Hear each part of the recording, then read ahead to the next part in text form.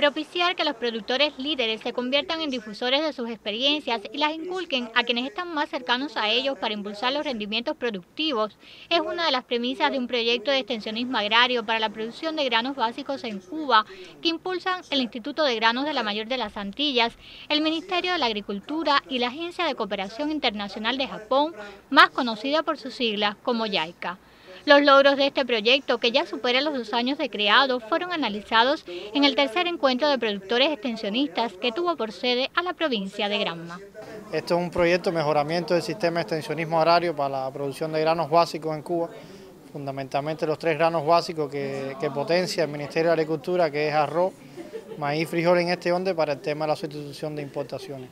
Los resultados de expandirnos en este tema con los productores extensionistas, el trabajo con ellos, ya hoy lo veíamos aquí, hemos logrado validar nuevos materiales con estos productores extensionistas, multiplicar variedades nuevas de maíz frijol y regionalizarla por todo el país también para aumentar los rendimientos. En el encuentro los productores recibieron materiales didácticos para multiplicar la capacitación y se socializaron las mejores experiencias de este proyecto que aunque joven ya da sus frutos. A raíz de, los encuentros que hemos tenido, eh, fui poniendo en práctica en mi finca y en mi lugar, ¿no? en la zona donde estoy, todas esas experiencias que se fueron transmitiendo en cuanto a variedades, forma de siembra y aplicación de algunos recursos de materia orgánica.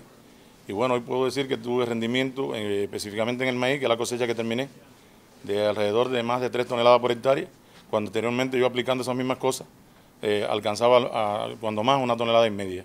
Que nosotros los productores seamos capaces con los mismos recursos eh, producir más.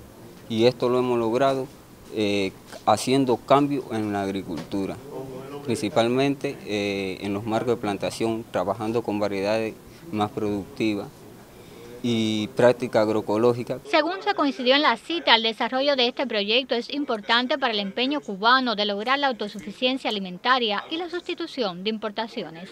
En Granma, Darelia Díaz Borrero, Sistema Informativo de la Televisión Cubana.